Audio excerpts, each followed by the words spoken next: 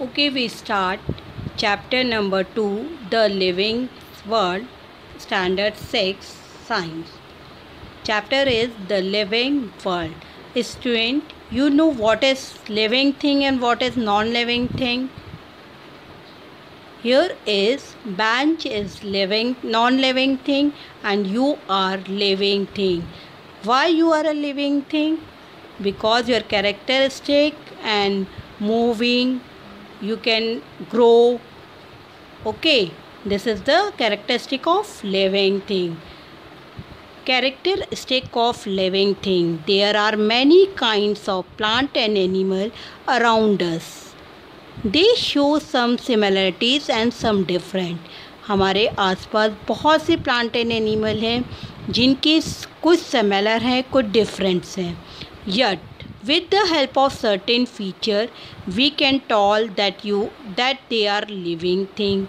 उनके कुछ फीचर्स हैं, जैसे वो उनकी हाइट ज़्यादा है, उनका फीचर है but this feature is not seen in non living thing such features are set to be the characteristic of living thing ये फीचर्स हम नॉन लिविंग थिंग में नहीं देखते हैं।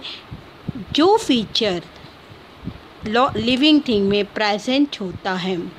Growth first is growth a baby grow up to become an adult person a baby grow up become a adult person women और man during the period of its growth the body gains and height weight and strength जैसे जैसे body grain होती है gain होती है उसकी height weight और strength बढ़ती जाती है in same manner all animal grow into adult in certain period उसी तरह एनिमल भी ग्रे ग्रो होते हैं कुछ निश्चित समय पर generally human require 18 to 20 years for this growth Tie a thread to the tip of potted sapling. Keep the thread stretched and tie. To a patch or nail above the plant. What do you observe after 10 to 15 days?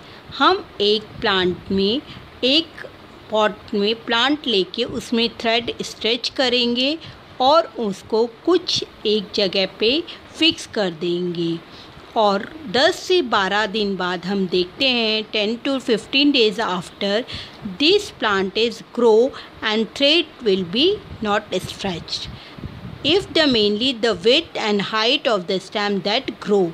As they grow, some plant develop branches while other do not.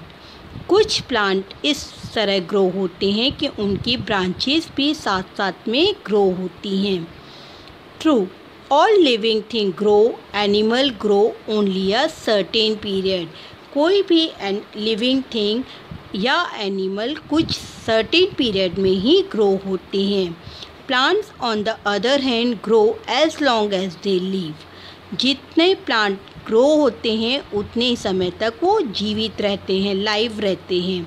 The growth of living thing occur from within the body which means that grow occur in all parts of the body living thing की body में कोई भी changes आता है growth होती है तो उनके बॉडी के ऑल पार्ट्स भी ग्रोथ होते हैं।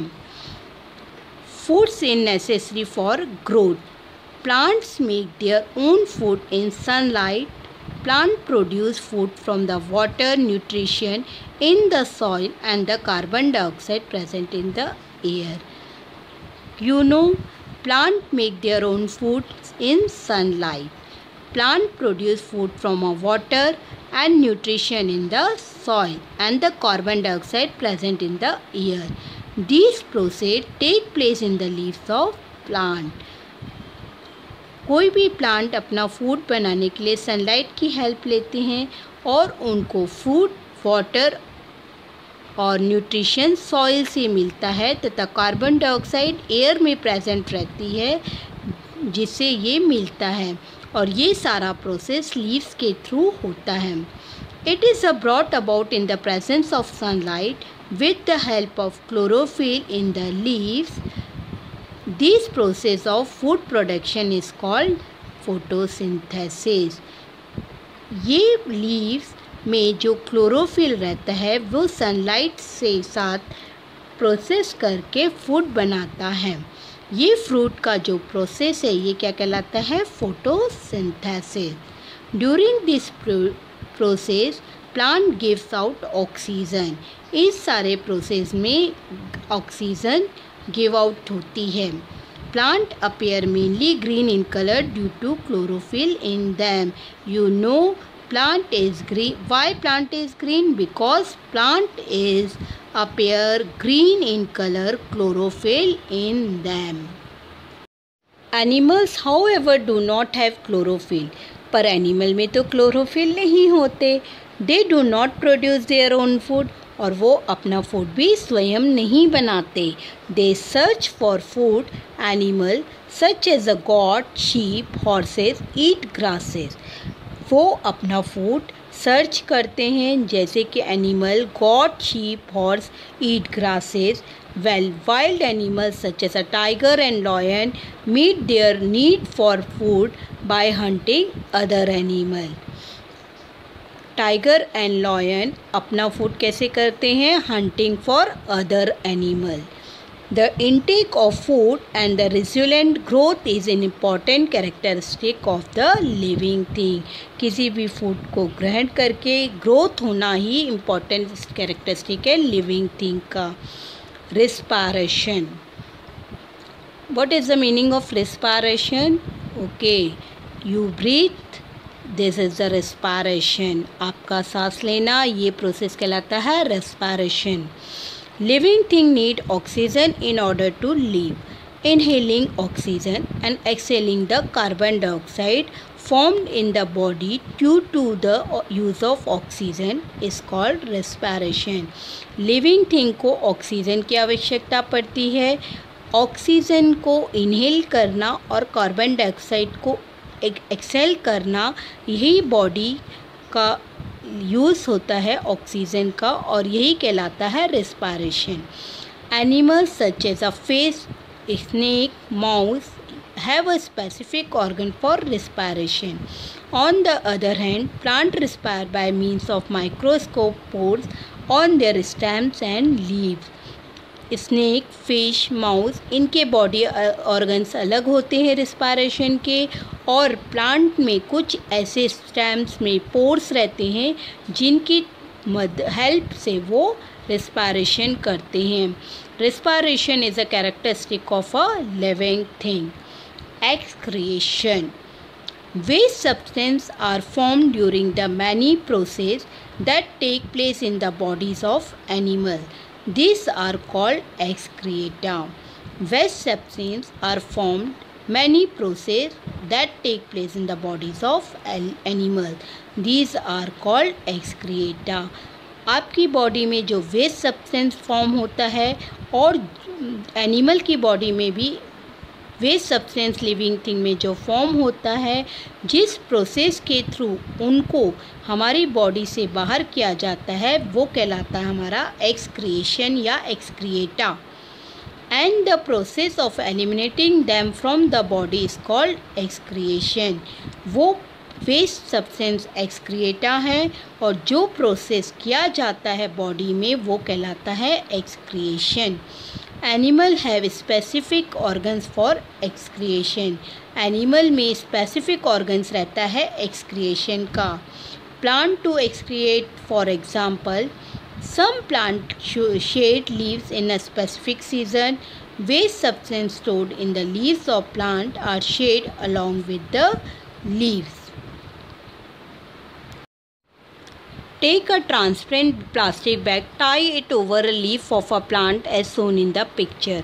Observe it. After 6 to 7 hours, what do you see? You see the some water droplet collect in the inside of the bag. It means that plant excrete water in the form of vapor. Excretion is a characteristic of a living thing.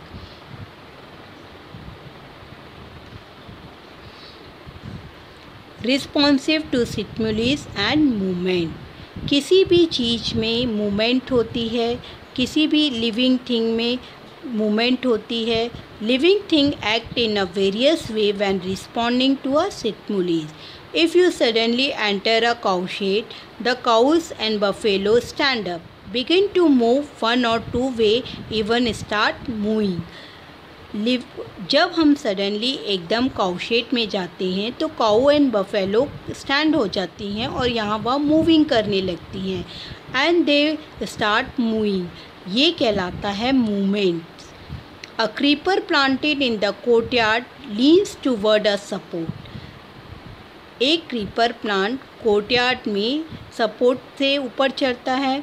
A potted plant placed in the window grew towards sunlight it means that plant also show the movement living thing move of their own accord the movement of the changes taking place in the living thing in such a time is their response to a stimulus and event that occur in our surrounding is a stimulus the ability of living thing to respond to stimulus is called their responsive to stimulus किसी भी change को जो एक जगह से दूसरी जगह change होती है या जिस एक पोजीशन से दूसरी पोजीशन चेंज होती है ये कहलाती है responding responsiveness to stimulus responsive to stimulus is a characteristic of a living thing यहाँ आपका चैप्टर ख़त्म होता है।